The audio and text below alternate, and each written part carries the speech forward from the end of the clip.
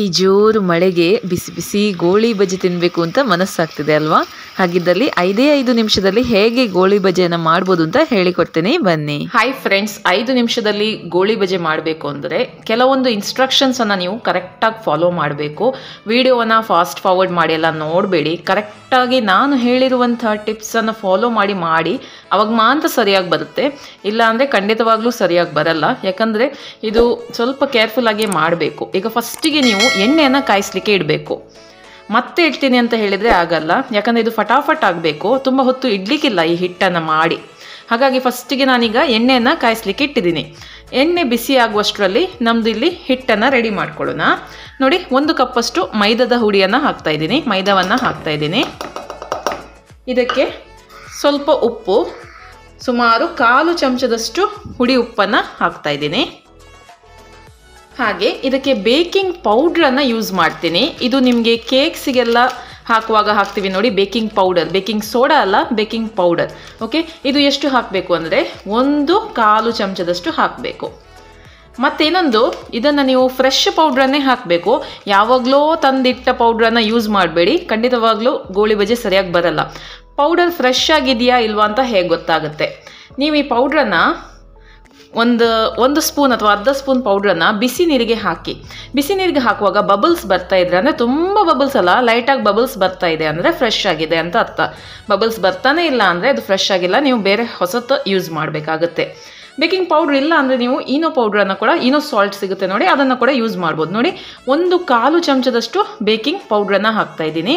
ಈಗ ಹೀಗೇ ಒಮ್ಮೆ ಮಿಕ್ಸ್ ಮಾಡೋಣ. ಬೇಕಿಂಗ್ ಪೌಡರ್ ಹಿಟ್ಟಿನ ಜೊತೆ ಚೆನ್ನಾಗಿ ಮಿಕ್ಸ್ ಆಗಬೇಕು. ತುಂಬ ಸತಿ ಕೆಲವರು ಯಾವಾಗಲೂ ತಂದಿರುವಂಥ ಬೇಕಿಂಗ್ ಪೌಡ್ರ್ ಆಗಲಿ, ಯಾವಾಗಲೂ ತಂದಿರುವಂಥ ಬೇಕಿಂಗ್ ಸೋಡಾವನ್ನೆಲ್ಲ ಯೂಸ್ ಮಾಡ್ತಾರೆ. ಮತ್ತು ಅವರ ಕೇಕ್ ಆಗಲಿ, ಯಾವುದೇ ರೆಸಿಪಿ ಆಗಲಿ ಸರಿಯಾಗಿ ಬರಲ್ಲ. ಅದಕ್ಕೋಸ್ಕರ ಫ್ರೆಶ್ ಆಗಿದೆಯಾ ಇಲ್ವ ಅಂತ ಟೆಸ್ಟ್ ಮಾಡಬೇಕು. ಸ್ವಲ್ಪ ನೀರಿಗೆ ಹಾಕಿದರೆ ನಿಮ್ಗೆ ಗೊತ್ತಾಗುತ್ತೆ. ಬೇಕಿಂಗ್ ಸೋಡಾ ಆದರೆ ನೀವು ಸ್ವಲ್ಪ ವಿನೆಗರ್ ಎಲ್ಲ ಹಾಕಬೇಕಾಗುತ್ತೆ. ಬೇಕಿಂಗ್ ಪೌಡ್ರು ನೀವು ಬಿಸಿ ನೀರಿಗೆ ಹಾಕಿ ಟೆಸ್ಟ್ ಮಾಡಬೇಕು. ತಣ್ಣೀರಿಗೆ ಹಾಕಿದರೆ ನಿಮಗೆ ಸರಿಯಾಗಿ ರಿಸಲ್ಟ್ ಸಿಗಲ್ಲ. ಬಿಸಿ ನೀರಿಗೆ ಹಾಕಿ ನೋಡಬೇಕಾಗುತ್ತೆ. ಓಕೆ ಈಗ ಇದಕ್ಕೆ ಸ್ವಲ್ಪ ಶುಂಠಿಯನ್ನು ಹಾಕ್ತಾ ಇದ್ದೀನಿ. ಶುಂಠಿ ಹಾಕಿದರೆ ಟೇಸ್ಟ್ ಚೆನ್ನಾಗಿರುತ್ತೆ. ಬೇಕಿದ್ರೆ ಸ್ವಲ್ಪ ಜಾಸ್ತಿನೇ ಹಾಕ್ಕೊಳ್ಬೋದು. ಹಾಗೆ ಒಂದು ಹಸಿಮೆಣಸಿನ್ಕಾಯಿನ ಹಾಕ್ತಾ ಇದ್ದೀನಿ. ಹಾಗೆ ಒಂದು ಗೆರೆಯಷ್ಟು ಕರಿಬೇವಿನ ಸೊಪ್ಪನ್ನು ಚಿಕ್ಕ ಚಿಕ್ಕದಾಗಿ ಕಟ್ ಮಾಡಿ ಹಾಕ್ತಾ ಇದ್ದೀನಿ.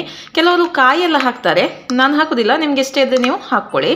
ಹಾಗೆ ಒಂದು ಅರ್ಧ ಚಮಚದಷ್ಟು ಜೀರಿಗೆ. ಅರ್ಧದಿಂದ ಒಂದು ಚಮಚದವರೆಗೆ ಹಾಕ್ಬೋದು. ನಾನೀಗ ಒಂದು ಚಮಚ ಹಾಕ್ತಾ ಇದ್ದೀನಿ. ನಿಮ್ಗೆ ಎಷ್ಟು ಬೇಕು ಅಷ್ಟು ಹಾಕಿದರೆ ಆಯಿತು. ಇದನ್ನು ಕೂಡ ಒಮ್ಮೆ ಚೆನ್ನಾಗಿ ಮಿಕ್ಸ್ ಮಾಡ್ಕೊಳ್ಳೋಣ.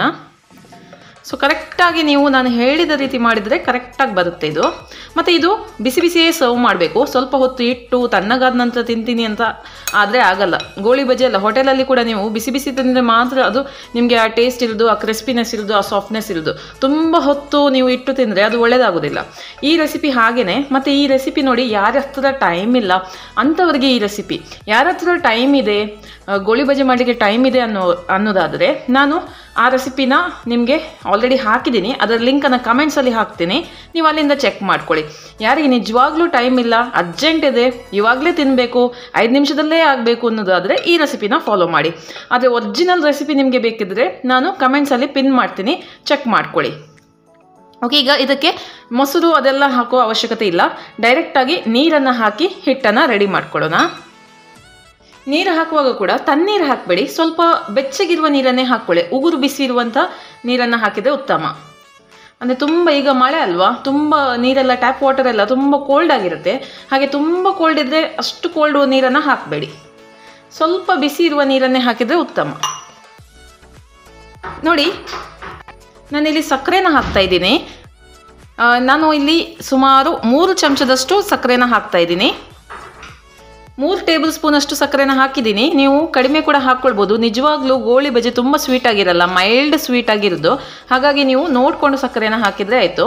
ನೀರು ಹಾಕುವ ಮುಂಚೆ ಸಕ್ಕರೆ ಹಾಕಿದರೆ ಉತ್ತಮ. ಯಾಕಂದರೆ ಸಕ್ಕರೆ ಕೂಡ ಮೆಲ್ಟ್ ಆಗಿ ನೀರು ಬಿಡುತ್ತೆ. ಹಾಗಾಗಿ ನೋಡಿ, ನಾನೀಗ ಪೂರ್ತಿಯಾಗಿ ನೀರನ್ನು ಹಾಕಲಿಲ್ಲ. ಯಾಕಂದರೆ ಸಕ್ಕರೆ ಕೂಡ ಮೆಲ್ಟ್ ಆಗುವಾಗ ನೀರು ನೀರಾಗುತ್ತೆ. ಹಾಗೆ ಜಾಸ್ತಿ ನೀರು ಹಾಕಲಿಕ್ಕೆ ಹೋಗಬೇಡಿ. ಈಗ ಸಕ್ಕರೆ ಸ್ವಲ್ಪ ಮೆಲ್ಟ್ ಆಗುವವರೆಗೆ ನಾವು ಇದನ್ನು ಮಿಕ್ಸ್ ಮಾಡಬೇಕಾಗುತ್ತೆ ಹುಡಿ ಸಕ್ಕರೆ ಇದ್ದರೆ ಅದನ್ನು ಹಾಕಿದರೆ ಉತ್ತಮ ಇನ್ನೂ ಕೂಡ. ಈಗ ಸಕ್ಕರೆ ಮೆಲ್ಟ್ ಆಗಿದೆ. ನಾನು ಜಾಸ್ತಿ ನೀರು ಹಾಕಲಿಲ್ಲ ನೋಡಿ, ಅದಕ್ಕೋಸ್ಕರ. ಸಕ್ಕರೆ ಮೆಲ್ಟ್ ಆಗುವಾಗ ಇದು ಇನ್ನೂ ಕೂಡ ನೀರು ನೀರಾಗುತ್ತೆ. ಆವಾಗ ಹಿಟ್ಟಿನ ಕನ್ಸಿಸ್ಟೆನ್ಸಿ ಸರಿಯಾಗುತ್ತೆ. ಮತ್ತು ಈ ಹಿಟ್ಟನ್ನು ತುಂಬ ಮಿಕ್ಸ್ ಎಲ್ಲ ಮಾಡಲಿಕ್ಕಿಲ್ಲ. ನಾರ್ಮಲ್ ಗೋಳಿ ಬಜೆ ಆದರೆ ತುಂಬ ಮಿಕ್ಸ್ ಮಾಡಲಿಕ್ಕೆ ಉಂಟು, ಅದು ಉಂಟು, ಇದು ಉಂಟು ಬಟ್ ಈ ಹಿಟ್ಟನ್ನು ತುಂಬ ಮಿಕ್ಸ್ ಮಾಡಲಿಕ್ಕಿಲ್ಲ. ಮತ್ತು ಇಡ್ಲಿಕ್ಕೆ ಕೂಡ ಇಲ್ಲ. ಹಿಟ್ಟು ರೆಡಿ ಆದ ಕೂಡಲೇ ನಾವು ಇದನ್ನು ಫ್ರೈ ಮಾಡಬೇಕಾಗತ್ತೆ. ನೋಡಿ ಈಗ ಹಿಟ್ಟು ರೆಡಿಯಾಗಿದೆ ಇದನ್ನು ಎಣ್ಣೆಗೆ ಹಾಕಿದ ಕೂಡಲೇ ಇದು ಬೇಗನೆ ಪಫಾಗಿ ಬರಬೇಕು. ಆವಾಗ ಇದು ಕರೆಕ್ಟಾಗಿದೆ ಅಂತ ಅರ್ಥ. ಜಸ್ಟ್ ಒಮ್ಮೆ ಟೆಸ್ಟ್ ಮಾಡೋಣ, ಎಣ್ಣೆಗೆ ಹಾಕಿ. ಮತ್ತು ಎಣ್ಣೆ ಕೂಡ ತುಂಬ ಬಿಸಿಯಾಗಿರಬೇಕು ಲೋ ಫ್ಲೇಮಲ್ಲೆಲ್ಲ ಇಡಲಿಕ್ಕಿಲ್ಲ. ಇದನ್ನು ಹಾಕುವಾಗ ಹೈ ಫ್ಲೇಮಲ್ಲಿ ಇರಬೇಕು. ತುಂಬ ಬಿಸಿಯಾಗಿರಬೇಕು ಮತ್ತು ಹಾಕಿದ ನಂತರ, ಎಲ್ಲ ಹಿಟ್ಟನ್ನು ಹಾಕಿದ ನಂತರ ಫ್ಲೇಮನ್ನು ನೀವು ಮೀಡಿಯಮಲ್ಲಿ ಇಟ್ಟು ಫ್ರೈ ಮಾಡಬೇಕು. ಈಗ ಜಸ್ಟ್ ಒಮ್ಮೆ ಟೆಸ್ಟ್ ಮಾಡೋಣ. ಎಣ್ಣೆ ಸರಿಯಾಗಿ ಕಾದಿದೆಯಾ ಇಲ್ವಾ ಅಂತ. ಓಕೆ ನೋಡಿ, ಸ್ವಲ್ಪ ಹಿಟ್ಟನ್ನು ಹಾಕಿ ನೋಡೋಣ. ಹಾಕಿದ ಕೂಡಲೇ ನೋಡಿ ಎಷ್ಟು ಚೆನ್ನಾಗಿ ಮೇಲೆ ಬಂತು ಓಕೆ ಈಗ ಕರೆಕ್ಟಾಗಿದೆ ಎಣ್ಣೆ ಹಾಕಿದ್ದು ನೋಡಿ ಎಷ್ಟು ಚೆನ್ನಾಗಿ ಗೋಳಿ ಬಜೆ ಉಬ್ಬಿ ಬರ್ತಾ ಉಂಟು. ಇನ್ನು ನಾವು ಗೋಳಿ ಬಜೆನ ಮಾಡ್ಬೋದು ಓಕೆ ಈಗ ಹಿಟ್ಟನ್ನು ಹಾಕ್ಕೊಳ್ಳೋಣ ನೋಡಿ ಹಿಟ್ಟನ್ನು ತೆಗೆಯುವಾಗ ಕೂಡ ಹೀಗೆ ಸೈಡಿಂದ ತೆಗೆದು ಹೀಗೆ ಮಾಡಿ ಹಾಕಿದರೆ ಆಯಿತು.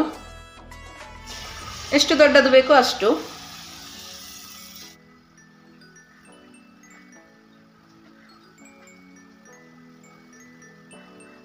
ಮಾಡ್ತಾನೆ ಇರಬೇಕು. ಇಲ್ಲಾಂದ್ರೆ ಏನಾಗುತ್ತೆ? ಒಂದು ಸೈಡಲ್ಲಿ ಮಾತ್ರ ಕೆಂಪಾಗುತ್ತೆ, ಮತ್ತೊಂದು ಸೈಡ್ ಬಿಳಿ ಬಿಳಿಯಾಗೇ ಇರುತ್ತೆ. ನೋಡಿ, ಎಷ್ಟು ಚೆನ್ನಾಗಿ ಶೇಪ್ ಹಿಡಿದಿದೆ ನೋಡಿ. ಹಿಟ್ಟಿನ ಹದ ಚೆನ್ನಾಗಿ ಇದ್ರೆ ಕರೆಕ್ಟಾಗಿದ್ದರೆ ಅಂದರೆ ತುಂಬ ನೀರು ನೀರಾದರೆ ಕರೆಕ್ಟಾಗಿ ಶೇಪ್ ಹಿಡಿಯಲ್ಲ. ಹೀಗೆ ಉದ್ದ ಉದ್ದ ಕೊಂಬೆಲ್ಲ ಬರುತ್ತೆ ಅದಕ್ಕೆ. ಇದಕ್ಕೆ ಕೂಡ ಕೊಂಬು ಉಂಟು, ಆದರೆ ಅಷ್ಟು ಜಾಸ್ತಿ ಇಲ್ಲ. ನೋಡಿ, ಹಿಟ್ಟಿನ ಹದಕ್ಕೆ ಸರಿಯಾಗಿದ್ದರೆ ನಿಮಗೆ ಆಲ್ಮೋಸ್ಟ್ ರೌಂಡ್ ರೌಂಡ್ ಆಗೇ ಬರುತ್ತೆ ಗೋಳಿ ಬಜೆ. ಸ್ವಲ್ಪ ಕೊಂಬೆಲ್ಲ ಬರ್ತಾ ಇದೆ ಅಂದರೆ ಹಿಟ್ಟಿನ ಹದ ಸ್ವಲ್ಪ ತೆಳುವಾಗಿದೆ ಅಂತ ಅರ್ಥ. ಅಂತಹ ಸಮಯದಲ್ಲಿ ನೀವು ಸ್ವಲ್ಪ ಹಿಟ್ಟನ್ನು ಹಾಕಿ ಸರಿ ಮಾಡಬೇಕಾಗುತ್ತೆ ಅದನ್ನು. ಆದರೆ, ಫಸ್ಟಿಗೆ ಮಾತ್ರ ಫ್ಲೇಮ್ ಹೈಯಲ್ಲಿ ಇಡಬೇಕು. ಮತ್ತೆ ಫ್ಲೇಮನ್ನು ಲೋ ಅಲ್ಲೇ ಇಟ್ಟು ನೀವು ಫ್ರೈ ಮಾಡಿ. ಇಲ್ಲಾಂದರೆ ಒಳಗಡೆ ಅದು ಸರಿಯಾಗಿ ಫ್ರೈ ಆಗೋದಿಲ್ಲ. ಸೊ ಫ್ರೈ ಮಾಡುವ ಟೆಕ್ನಿಕ್ ಕೂಡ ಸರಿಯಾಗಿರಬೇಕು. ಇಲ್ಲಾಂದರೆ ಗೋಳಿ ಬಜೆ ಸರಿಯಾಗಿ ಬರಲ್ಲ ನಿಮಗೆ. ಸೊ ಫ್ರೈ ಮಾಡುವಾಗ ಕೂಡ ಸರಿಯಾಗಿ ಫ್ರೈ ಮಾಡಿದರೆ ಮಾತ್ರ ಸೂಪರ್ ಆಗಿರುವಂತಹ ಗೋಳಿ ಬಜೆ ನಿಮಗೆ ಬರೋದು. ನೋಡಿ, ಇದಾಗಿದೆ. ಇನ್ನು ಇದನ್ನು ಸರ್ವ್ ಮಾಡೋಣ. ಸೂಪರಾಗಿ ಬಂದಿದೆ. ಬನ್ನಿ ಸರ್ವ್ ಮಾಡಿ ನೋಡೋಣ. ಓಕೆ ನೋಡಿ, ಐದು ನಿಮಿಷದಲ್ಲಿ ಗೋಳಿ ಬಜೆ ರೆಡಿ ಸೂಪರ್ ಆಗಿದೆ ಬಿಸಿ ಬಿಸಿ ಟೀ ಇದ್ದರೆ ಮಳೆಯನ್ನು ನೋಡ್ತಾ ಈ ಗೋಳಿ ಬಜೆ ತಿನ್ನಲಿಕ್ಕೆ ತುಂಬ ಖುಷಿಯಾಗುತ್ತೆ ನೋಡಿ, ಎಷ್ಟು ಸಾಫ್ಟಾಗಿ ಬಂದಿದೆ ಅಂತ. ಅದಿದು ಇವಾಗಲೇ ತಿನ್ನಬೇಕು ಮತ್ತೆ ತಣ್ಣಗಾದ ನಂತರ ತಿಂದರೆ ಗಟ್ಟಿ ಆಗುತ್ತೆ. ಬೇಕಿಂಗ್ ಪೌಡರ್ ಹಾಕಿರೋದು. ಹಾಗಾಗಿ ಬಿಸಿ ಬಿಸಿ ತಿನ್ನಲಿಕ್ಕೆ ಮನಸ್ಸಿದ್ರೆ ಈ ರೀತಿ ಮಾಡಿ ನೀವು ನೋಡಿ. ಓಕೆನಾ ವಿಡಿಯೋ ಇಷ್ಟ ಆದರೆ ಲೈಕ್ ಮಾಡೋದನ್ನು ಮರಿಬೇಡಿ. ಫೇಸ್ಬುಕ್ ಪೇಜನ್ನು ಫಾಲೋ ಮಾಡಿ ಹಾಗೂ ವಿಡಿಯೋವನ್ನು ಶೇರ್ ಮಾಡಿ ಓಕೆ ಬಾಯ್